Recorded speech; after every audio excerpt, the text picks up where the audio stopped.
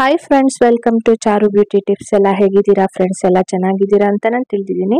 ನೋಡಿ ಫ್ರೆಂಡ್ಸ್ ಬಿಳಿ ಕೂದಲು ಸಮಸ್ಯೆ ಪ್ರತಿಯೊಬ್ಬರಿಗೂ ಇದ್ದೇ ಇರುತ್ತೆ. ಚಿಕ್ಕ ಮಕ್ಕಳಿಂದ ಹಿಡಿದು ದೊಡ್ಡೋರವರೆಗೂ ಬಿಳಿ ಕೂದಲು ಕಾಮನ್ ಆಗಿಬಿಟ್ಟಿದೆ.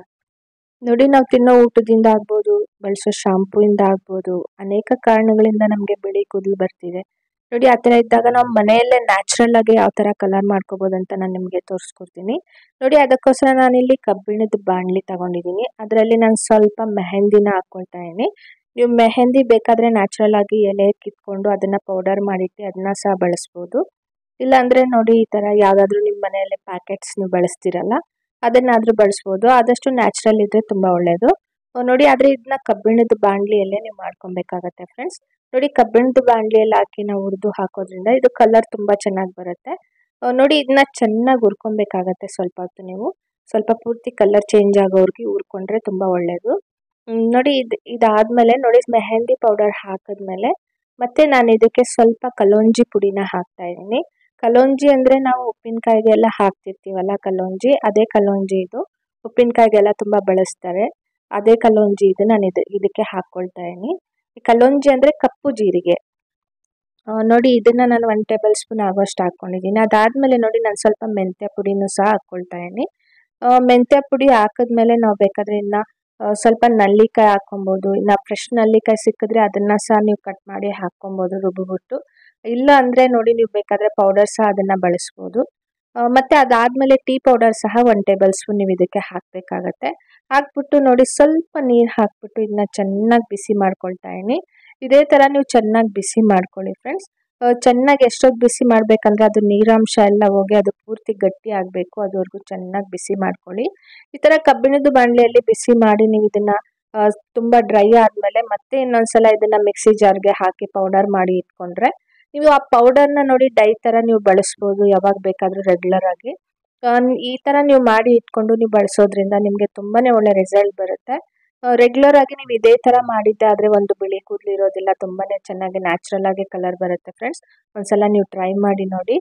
ನೋಡಿ ಚೆನ್ನಾಗಿ ಬಿಸಿ ಮಾಡಬೇಕಂದ್ರೆ ಅದ್ರಲ್ಲಿ ಪೂರ್ತಿ ನೀರು ಎಷ್ಟಿದೆಯೋ ಅಷ್ಟು ಹೊಟ್ಟೋಗ್ಬೇಕು ಅದು ಗಟ್ಟಿ ಆಗಿಬಿಟ್ಟು ಮತ್ತೆ ಅದು ಪೌಡರ್ ಥರ ಮತ್ತೆ ಅದು ಗಟ್ಟಿಯಾಗಿರುತ್ತಲ್ಲ ಅದನ್ನ ನಾವು ಮತ್ತೆ ಮಿಕ್ಸಿ ಜಾರ್ಗೆ ಹಾಕ್ಕೊಂಡು ರುಬ್ಬಿ ಪೌಡರ್ನ ನಾವು ಮಾಡ್ಕೊಬೇಕಾಗತ್ತೆ.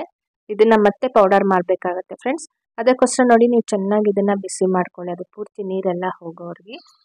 ಆ ನೀರೆಲ್ಲ ಆಗೋಗ್ತಿದ್ದಂಗೆ ನೋಡಿ ಸ್ವಲ್ಪ ಗಟ್ಟಿ ಬರ್ತಿದೆ. ಈ ಥರನೇ ಗಟ್ಟಿ ಬಂದಾಗ ಇನ್ನೂ ಸ್ವಲ್ಪ ಗಟ್ಟಿ ಬಂದಮೇಲೆ ಇದನ್ನು ಸ್ವಲ್ಪ ಹೊತ್ತು ತಣ್ಣಗಾಗಕ್ಕೆ ಹಾಗೆ ಬಿಡಬೇಕಾಗತ್ತೆ. ನೋಡಿ ಇದಕ್ಕೆ ನಾನು ಇನ್ನೂ ಸ್ವಲ್ಪ ಬೆಟ್ಟದ ಕೈ ಹಾಕ್ಕೊಳ್ತೀನಿ. ಅದಾದಮೇಲೆ ನೋಡಿ ಟೀ ಪೌಡರ್ ಸಹ ಇದಕ್ಕೆ ಹಾಕ್ತೀನಿ. ಹಾಕಿ ನಾನು ಇದನ್ನು ಇನ್ನೂ ಚೆನ್ನಾಗಿ ಮಿಕ್ಸ್ ಮಾಡಿ ಇದೇ ಥರ ನಾನು ಅದನ್ನು ಸ್ವಲ್ಪ ಹೊತ್ತು ಹಾಗೆ ಬಿಟ್ಬಿಡ್ತೀನಿ ಚೆನ್ನಾಗಿ ನೀರೆಲ್ಲ ಆಗೋದ್ಮೇಲೆ. ಅದು ಮತ್ತೆ ಆ ಗಟ್ಟಿಯಾಗಿರೋ ಪೌಡರ್ನ ನಾವು ಮಿಕ್ಸಿ ಜಾರ್ಗೆ ಹಾಕ್ಕೊಬೇಕಾಗತ್ತೆ ಫ್ರೆಂಡ್ಸ್. ನೋಡಿ, ನೀವು ನಲ್ಲಿಕಾಯಿ ಪುಡಿ ಇದ್ರೂ ಪರವಾಗಿಲ್ಲ, ಅದನ್ನಾದರೂ ಹಾಕ್ಕೊಳ್ಳಿ. ನೋಡಿ, ಇದರಲ್ಲಿ ಬಳಸಿರೋ ಪ್ರತಿಯೊಂದು ಇಂಗ್ರೀಡಿಯೆಂಟು ಅಷ್ಟೇ ತುಂಬಾ ಒಳ್ಳೆಯದು ನಮ್ಮ ಕೂದಲಿಗೆ ಒಂದು ಒಳ್ಳೆ ರೀತಿ ಕಲರ್ ಕೊಡೋದೇ ಅಲ್ದಿರ ನಮ್ಮ ಕೂದಲು ಬೆಳೆಯೋದಕ್ಕೂ ತುಂಬ ಚೆನ್ನಾಗಿರುತ್ತೆ ಏರ್ ಫಾಲ್ ಕಂಟ್ರೋಲ್ ಆಗುತ್ತೆ. ಏರ್ ಫಾಲ್ ಕಂಟ್ರೋಲ್ ಆಗೋದೇ ಅಲ್ದಿರ, ನೋಡಿ ತುಂಬಾ ಒಳ್ಳೆ ರೀತಿ ಶೈನಿಂಗ್ ಇರುತ್ತೆ, ತುಂಬ ಚೆನ್ನಾಗಿರುತ್ತೆ. ಸಿಲ್ಕಿ ಆಗಿ ಒಂಥರ ಶೈನಿ ಆಗಿರುತ್ತೆ. ನೋಡಿ, ಇದು ಬೆಟ್ಟದ ನಲ್ಲಿಕಾಯಿ ನಾನು ಸ್ವಲ್ಪ ತರ್ತರಿಯಾಗಿ ರುಬ್ಕೊಂಡು ಹಾಕ್ಕೊಂಡಿದ್ದೀನಿ ಅದಾದಮೇಲೆ ಟೀ ಪೌಡರ್ ಸಹ ಹಾಕ್ಕೊಂಡು ಸ್ವಲ್ಪ ಹೊತ್ತು ತಣ್ಣಗಾಗಕ್ಕೆ ಹಾಗೆ ಬಿಟ್ಬಿಟ್ಟು, ಮತ್ತೆ ನೋಡಿ, ಇದನ್ನು ಮಿಕ್ಸಿ ಜಾರ್ಗೆ ಹಾಕ್ಕೊಳ್ತಾ ಇದ್ದೀನಿ ಫ್ರೆಂಡ್ಸ್. ನೀವು ಅಷ್ಟೇ ಇದೆಲ್ಲ ಪೂರ್ತಿ ಇಂಗ್ರೀಡಿಯೆಂಟ್ನಿ ಪೌಡರ್ನೆಲ್ಲ, ಅದು ಗಟ್ಟಿ ಆಗಿಬಿಟ್ಟಿರುತ್ತಲ್ಲ, ಅದನ್ನ ಪುಡಿ ಪುಡಿ ಮಾಡಿ ಸ್ವಲ್ಪ ಕೈಯಲ್ಲಿ ಈ ಥರ ಮಾಡಿಬಿಟ್ಟು ನೀವು ಇದನ್ನು ನೋಡಿ ಮಿಕ್ಸಿ ಜಾರ್ಗೆ ಹಾಕ್ಕೊಂಡು ನೀವು ಇದನ್ನ ಒಂದು ಒಳ್ಳೆ ಪೇಸ್ಟ್ ಮಾಡಿ ಪೌಡರ್ ಮಾಡ್ಕೊಳ್ಳಿ. ಈ ಪೌಡರ್ನ ನೀವು ಸ್ಟೋರ್ ಮಾಡಿ ಇಟ್ಕೋಬಹುದು ಸ್ಟೋರ್ ಮಾಡಿ ಇಟ್ಕೊಂಡು ನೀವು ಯಾವಾಗ ನೀವು ಕಲರ್ ಹಾಕ್ಕೋಬೇಕನ್ಸುತ್ತೋ ಅವಾಗೆಲ್ಲ ನೀವು ಇದನ್ನ ಬಳಸ್ಬೋದು. ನೋಡಿ ಬೇಕಾದ್ರೆ ಇದನ್ನ ಮೆಹಂದಿಯಲ್ಲಿ ಸಹ ಮಿಕ್ಸ್ ಮಾಡಿ ನೀವು ಬಳಸ್ಬೋದು. ಯಾರ್ಯಾರು ಹೆಣ್ಣ ಹಾಕೊಂತೀರೋ ಅವರೆಲ್ಲ ಅದರಲ್ಲಿ ಸಹ ಮಿಕ್ಸ್ ಮಾಡಿ ಹಾಕೊಬಹುದು ಇಲ್ಲಾಂದ್ರೆ ನೋಡಿ ಸ್ವಲ್ಪ ನೀರು ಹಾಕ್ಬಿಟ್ಟು ಈ ತರ ಕಲಿಸ್ಕೊಂಡು ನೋಡಿ ಈ ತರ ನೀವು ಹೇರ್ ವಾಶ್ ಮಾಡಿರ್ಬೇಕಾಗತ್ತೆ.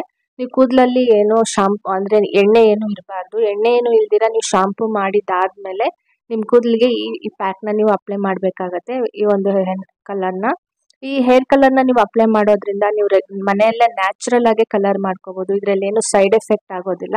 ತುಂಬಾನೇ ಒಳ್ಳೆ ರೀತಿ ಕಲರ್ ಬರುತ್ತೆ. ಇದು ಹದಿನೈದು ದಿನಕ್ಕೆ ಒಂದ್ಸಲ ನೀವು ರೆಗ್ಯುಲರ್ ಆಗಿ ಕಂಟಿನ್ಯೂ ಮಾಡಿದ್ದೀರಂತೆ.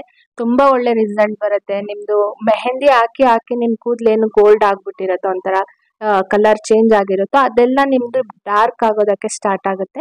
ಅದೇ ಥರ ನೀವು ರೆಗ್ಯುಲರ್ ಆಗಿ ಬಳಸೋದ್ರಿಂದ ಏನಾಗುತ್ತೆ ಅಂದರೆ ಅದು ತುಂಬಾನೇ ಒಳ್ಳೆ ರೀತಿ ರಿಸಲ್ಟ್ ಬರುತ್ತೆ. ನೀವು ಎಷ್ಟೇ ಬಿಳಿ ಕೂದಲಿದ್ರು ನೋಡಿ ಒಂದ್ಸಲ ರಿಸಲ್ಟ್ ಬಂದಿಲ್ಲ ಅಂತ ಮಾತ್ರ ನೀವು ಖಂಡಿತ ಬೇಜಾರು ಮಾಡ್ಕೋಬಿಡಿ. ಇದೇ ಥರ ನೀವು ರೆಗ್ಯುಲರ್ ಆಗಿ ಮಾಡಿದ್ದಾದ್ರೆ ಹದಿನೈದು ದಿನಕ್ಕೆ ಒಂದ್ಸಲ ನೀವು ಇದನ್ನ ಹಚ್ಬೇಕಾಗತ್ತೆ. ಅದೇ ಥರ ನೀವು ಒಂದು ಎರಡು ಮೂರು ನಾಲ್ಕು ಸಲ ಹಚ್ಚಿ ನೋಡಿ ಅದಾದ್ಮೇಲೆ ರಿಸಲ್ಟ್ ಬಂದಮೇಲೆ ಖಂಡಿತ ನೀವು ಕಮೆಂಟ್ ಮಾಡಿ. ನೋಡಿ, ಇದನ್ನ ನೀವು ಹೇರ್ ವಾಶ್ ಮಾಡಿರ್ಬೇಕು. ವಾಶ್ ಮಾಡಿದ್ದಾದ್ಮೇಲೆ ನೀವು ಇದನ್ನ ಬಳಸಬೇಕಾಗತ್ತೆ. ಎಣ್ಣೆ ಇರೋ ಕೂದಲಲ್ಲಿ ಮಾತ್ರ ಬಳಸಬೇಡಿ. ಮತ್ತೆ ನೋಡಿ ಶಾಂಪೂ ಮಾಡುವಾಗ, ಅವತ್ತು ನೀವು ಶಾಂಪೂ ಮಾಡುವಾಗ, ಅವತ್ತು ನೀವು ನಾರ್ಮಲ್ ಆಗಿ ಹೇರ್ ವಾಶ್ ಮಾಡ್ಕೊಳ್ಳಿ. ಹೇರ್ ವಾಶ್ ಮಾಡ್ಕೊಳ್ಳೋವಾಗೂ ಕೂದಲು ತೊಳೆಯೋವಾಗ ತುಂಬಾ ಬಿಸಿ ನೀರಲ್ಲಿ ತೊಳಿಬೇಡಿ. ಸ್ವಲ್ಪ ಮೀಡಿಯಂ ಆಗಿರೋ ಬಿಸಿ ನೀರಲ್ಲಿ ಅಂದ್ರೆ ನಿಮ್ ನಾರ್ಮಲ್ ಆಗಿ ಟ್ಯಾಪಲ್ಲಿ ಬರುತ್ತಲ್ಲ ಬಿಸಿನೀರು ನೀರು ಆ ನೀರಲ್ಲೇ ನೀವು ತೊಳಿಬೇಕಾಗತ್ತೆ. ಯಾಕಂದ್ರೆ ಪೂರ್ತಿ ಬಿಸಿ ನೀರಲ್ಲಿ ನೀವು ತೊಳೆದ್ರೆ ಇರೋ ಕಲರ್ ಎಲ್ಲ ಹೊಟ್ಟೋಗ್ಬಿಡುತ್ತೆ ಫ್ರೆಂಡ್ಸ್ ಮಾರನೇ ದಿನ ನೀವು ಎಣ್ಣೆ ಇಟ್ಬಿಟ್ಟು ಮಸಾಜ್ ಮಾಡಿ ಮತ್ತೆ ನೀವು ಶಾಂಪೂ ಮಾಡಬೇಕಾಗತ್ತೆ. ಅವತ್ತು ಶಾಂಪೂ ಮಾಡಬಾರ್ದು. ನೋಡಿ ಮಾರನೇ ದಿನ ಶಾಂಪೂ ಮಾಡಿದ್ಮೇಲೆ ತುಂಬಾ ಒಳ್ಳೆ ರೀತಿ ರಿಸಲ್ಟ್ ಬರುತ್ತೆ. ನೀವು ಒಂದ್ಸಲ ಈ ಟಿಪ್ಸ್ನ ಟ್ರೈ ಮಾಡಿ ನೋಡಿ. ನೋಡಿ ನಾನು ಮಾಡಿರೋ ವಿಡಿಯೋ ನಿಮ್ಗೆ ಇಷ್ಟ ಆಗಿದ್ರೆ ಪ್ಲೀಸ್ ಲೈಕ್ ಕೊಡೋದು ಮಾತ್ರ ಮರಿಬೇಡಿ. ಅದೇ ಥರ ನನ್ನ ಚಾನಲ್ನ ಸಬ್ಸ್ಕ್ರೈಬ್ ಮಾಡ್ಕೊಳ್ಳಿ. ಬೆಲ್ ಬಟನ್ ಕ್ಲಿಕ್ ಮಾಡಿ ಇನ್ನೂ ಹೆಚ್ಚಾಗಿ ನೋಟಿಫಿಕೇಶನ್ ನಿಮಗೆ ಬರುತ್ತೆ. ಅದೇ ಥರ ನನ್ನ ಚಾನಲ್ನ ಶೇರ್ ಮಾಡಿ. Thank you friends